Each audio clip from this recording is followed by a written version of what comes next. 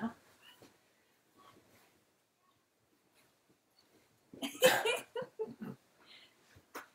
I don't. I I think, think so. so. I think you're there. Yep, I think. Hey, Hey, everybody!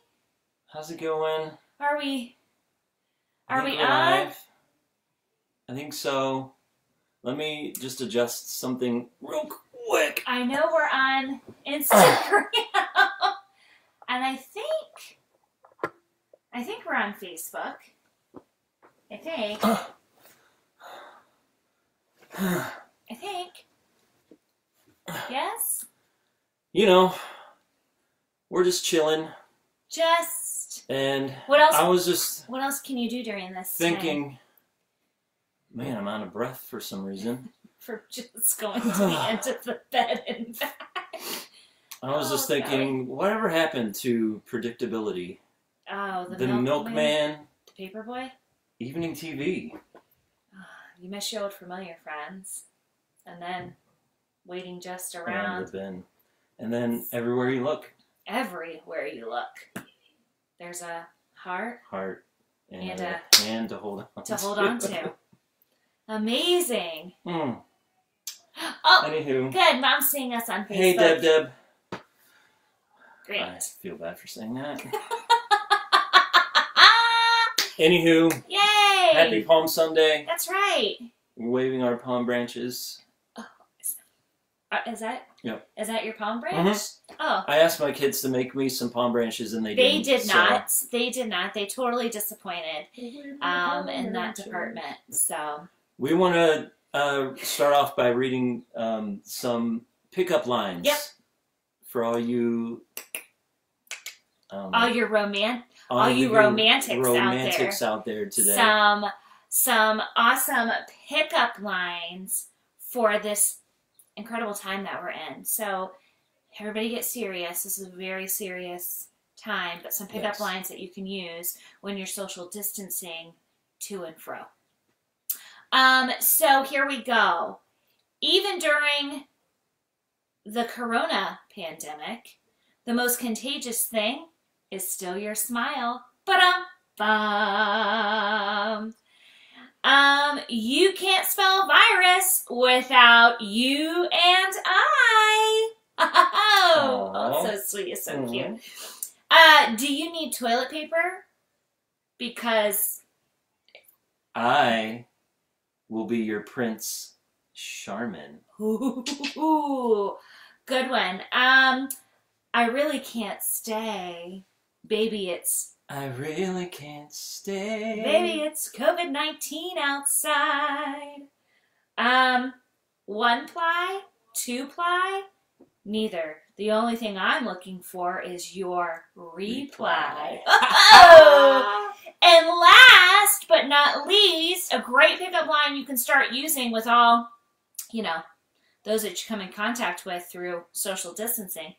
You can't spell quarantine without U R A Q T. But um, bum. That's awesome. Oh, there's Um, our there's our cat. Brooklyn's She's just wanting to say thing. hello. Brooklyn's saying hi. She's great. So, Anywho. anywho, Well, today's Palm Sunday, and um, this is um, the beginning of Holy Week um, for uh, those of us that call ourselves Christ followers.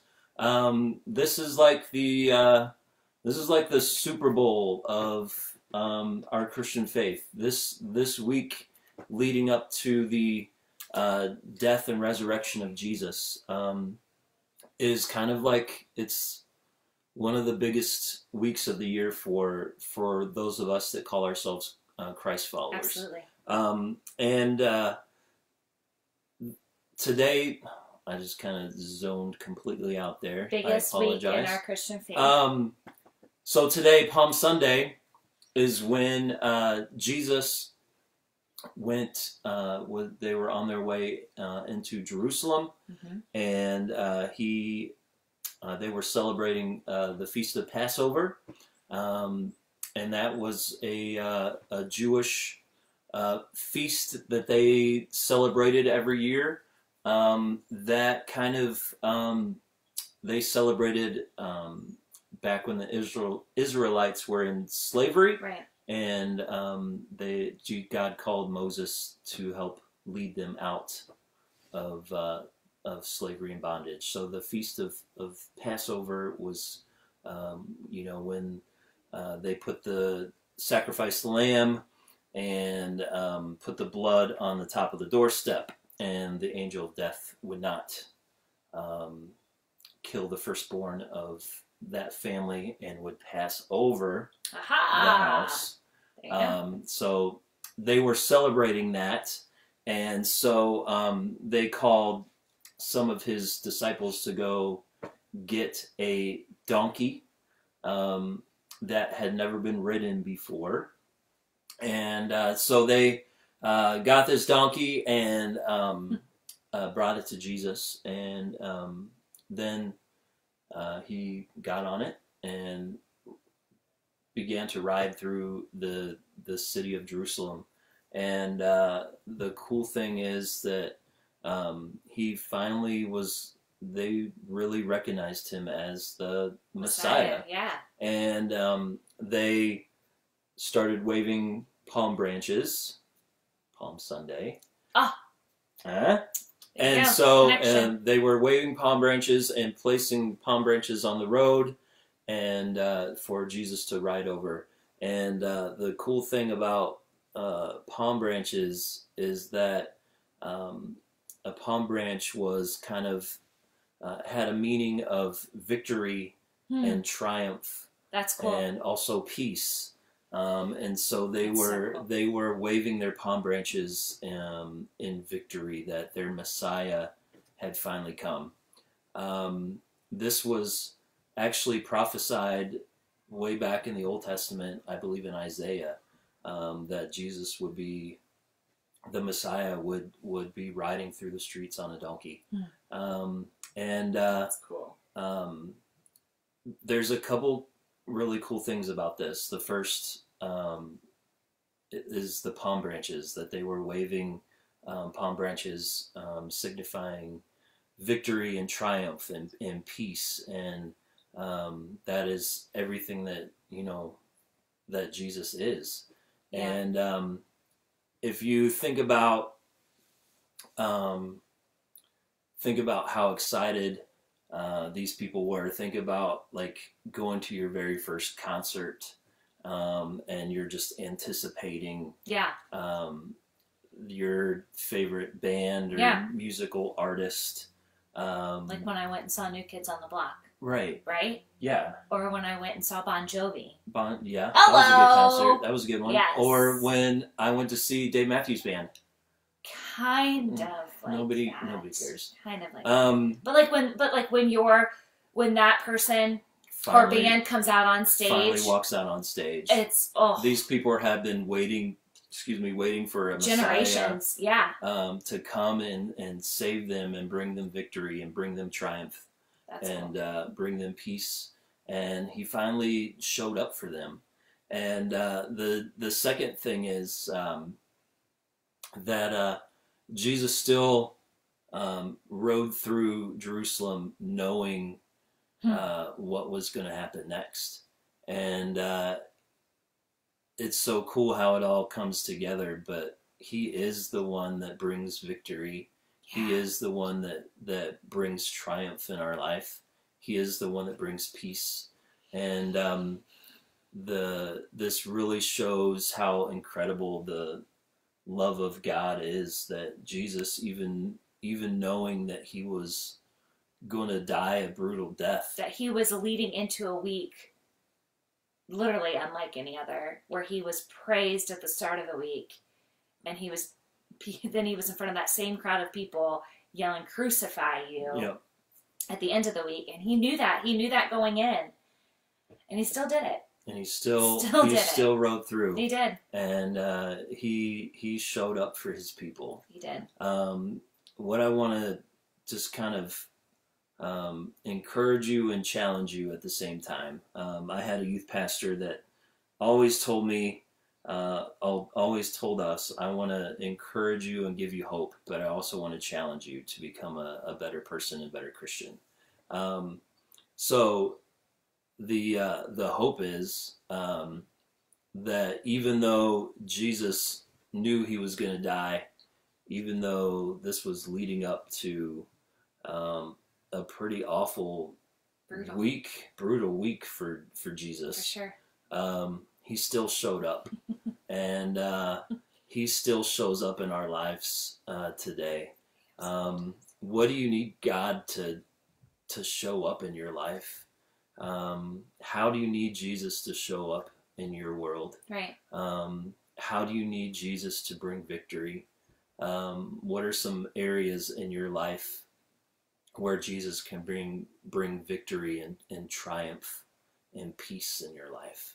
Um, he's never going to leave us or forsake us, um, and he will always show up That's right. um, in the midst of our darkest pain, in the midst of any trial um, that we're going through, any brokenness that we're dealing with, He is always going to show Hmm. up, um, and uh, He will He will ride through the pain with you. That's right. Um, the challenge is, as we really think about um, what this week means and um, the um, Jesus being arrested and and tortured and beaten and and and crucified and and um, leading up to his death and and ultimately his resurrection. Um, what are you what are you doing with all of that? Mm. Um, how are you processing all of that? Um, if you call yourself a, a Christ Christ follower, um, how is that um, impacting your world and how you live out your life? Um, how is that um, shaping how you um, talk to people, how you um, how you interact with people? True. Um, how is that shaping um, the stuff that you listen to? Hmm. How is that shaping the stuff that you watch? Um, how is that shaping the words that you say? Hmm. Um, how is that shaping um, sharing the message of Jesus with others?